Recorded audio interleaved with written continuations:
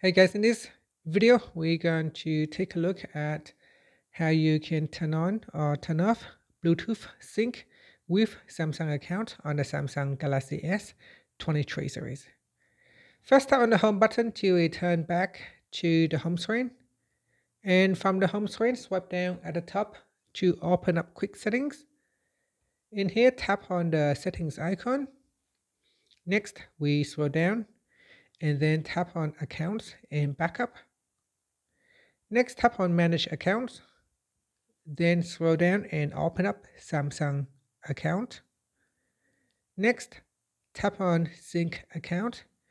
And after that tap on Bluetooth. Tap on Bluetooth toggle button to switch it off or turn it on. You can also tap on the left hand side panel and you can tap on the button at the top here to turn on or off as well. Now, if you want to immediately sync your Bluetooth uh, data, you can tap on that and that will sync Bluetooth information to your Samsung account. And that's it. Finally, you can tap on the home button to return back to the home screen. Thank you for watching this video. Please like and subscribe to my channel for more videos.